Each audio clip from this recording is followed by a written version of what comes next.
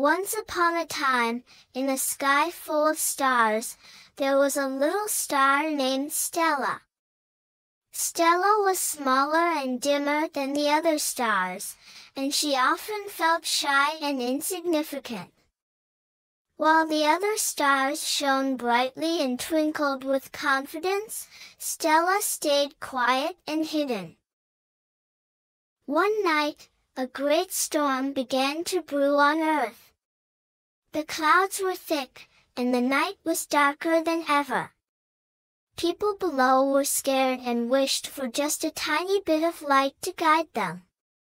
The other stars tried their best, but the clouds were too dense, and their light couldn't break through.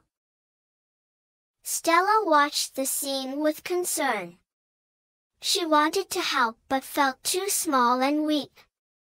Then, she remembered something her mother star had told her, even the smallest star can shine brightly if it believes in itself. Summoning all her courage, Stella took a deep breath and decided to try.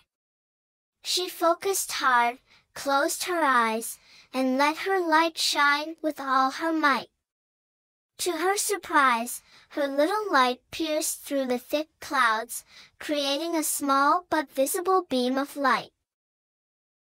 People on Earth saw Stella's light and felt hopeful. They followed the tiny beam, finding their way through the storm safely.